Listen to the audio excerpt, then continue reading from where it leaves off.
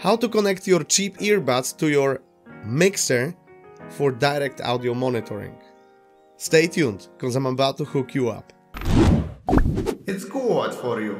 Hey, what's going on YouTube? This is Pete coming back with another awesome video and today it's gonna be a little bit different uh, video. I don't know, but you know, I was looking for the answer to this and I accidentally came up with the solution uh, because I couldn't simply find anything like this uh, on YouTube or anything. So I thought, okay, well, I must not be the only one, maybe that have this idea of uh, uh, this particular problem and maybe I'm gonna do a video about that. So remember when I did my unboxing video of my new Yamaha mixer? Yeah, I did say in this video that if I'm gonna find anything like relevant, interesting or anything at all that I think may needs to be said, I'm gonna make a follow-up video about it. Mixer wise, I absolutely love it, you know. By the way, if you haven't seen that video, it's gonna be coming up right now on the card section, so have a look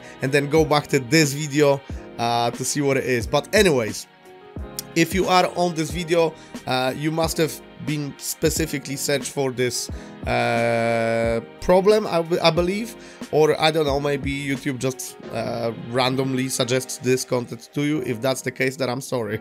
okay, so first of all, you're gonna ask me why would I want to connect a cheap earbuds to my Yamaha mixer or to any mixer in this instance, I think. Well, I have a good reason for it. Why? Because you'll be like, oh yeah, why you connect that and why you don't connect your normal headphones to it? Well, I do connect my headphones to it uh, when I do my reaction videos or when I play uh, any games from my, like using my PC. But I'm a PlayStation user as well and if I want to record my PlayStation gameplays, well for those of you who dealt with PlayStation before, you know what I'm talking about. So for example, if I want to connect my cheap earbuds to my controller over here, I won't be able to record the audio through my Elgato. Uh, okay, that's just simple as that. I've tried it back and forth. The only thing, uh, the setup uh, that I use uh, that works for me is those Turtle Beach um, Bluetooth or wireless uh, headphones uh, that are actually quite good. I absolutely love them. They are connected to my PlayStation via optical cable and only that way when I put them on I can hear my gameplay and that's that's just where it is and I can then record through my Elgato. That's just what it is. Unless there is a different way with plugging million of cables, maybe. I like simple, so I I've got those. Plus they're really comfy anyway, so I really enjoyed using them. I've had them for about three years now, and I absolutely recommend this headsets to anyone. I think this is Turtle Beach Elite uh, for PlayStation. It, there is a separated one for Xbox, I believe, you know.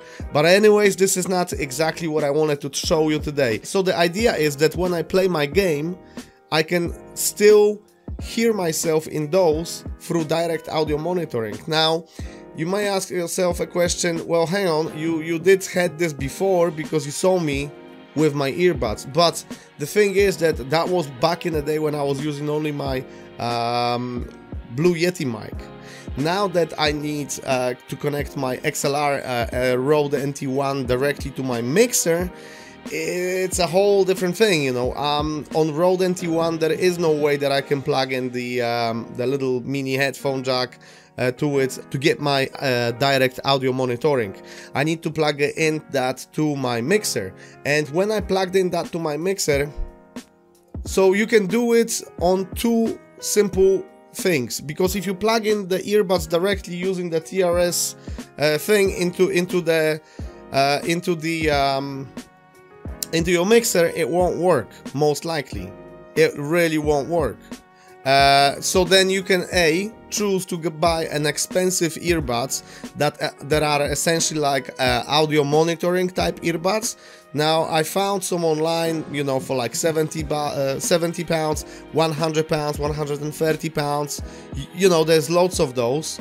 Um, or you can get yourself a little little adapter, uh, which I found this on Amazon, and a link to this item is gonna be down below. It actually works, guys.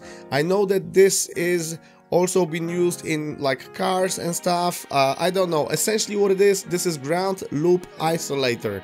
So any type of uh, weird noises and stuff that you may hear through your earbuds or headsets or whatever's when you plug in um, your headsets to whatever and then you hear a weird sound maybe you need one of this but this saved me a hundred pounds earbuds to buy because this costed me only like 10 pounds on Amazon. 949 something like this. So I'm gonna put a link down below to this and I'm gonna try to find it on Amazon US as well for those of you who are uh, in United States. But anyways guys I mean this is really what you need. And let me show you how this is uh, how this looks. So this is the thing guys. That's what it is essentially and what you want to do is you want to get because it comes with this little cable it's simple. You plug in the cable okay? You plug in the cable you plug in your favorite earbuds to the other side. Now this you plug in your TRS Okay, and I'm gonna show you the image now. This is how it's connected. And yeah, you connect it this way to your uh, mixer. I don't feel like this is only my Yamaha MGU. I feel like this would be happening on any mixer or maybe even audio interface. Because to be honest, previously I've been using just a simple uh, two-line uh, audio interface by Roland and I was able to hear myself in it but it wasn't like amazing yeah? Now when I plugged in this um, ground loop isolator wow! The sounds that was coming out of those little cheap earbuds you would not believe. It was so clear and loud and everything so you can then volume up and down and just choose how loud this you want it to be. But to be honest guys that is what it is. That is basically 10 pounds or $10 solution versus a flipping $100 or pounds or over solution to get a, a expensive earbuds over a little simple thing that potentially you know, it can save you a lot of money right here. Alright guys, I feel like this is gonna be everything what I got for you today. Thanks so much for your time. Thanks so much for tuning in. I hope you guys found some value in this video. I hope you guys enjoyed it. And if you did, do me a favor and absolutely demolish this like button and also share this video with your friends. And for those of you who are new to my channel, I would really appreciate your help by subscribing, by joining the Psiabushka gang. So uh, yeah, do subscribe if you want to and also if you choose to do that do not forget to hit that bell and click all so you can see all of my stuff coming out when I release my videos so you never miss any video.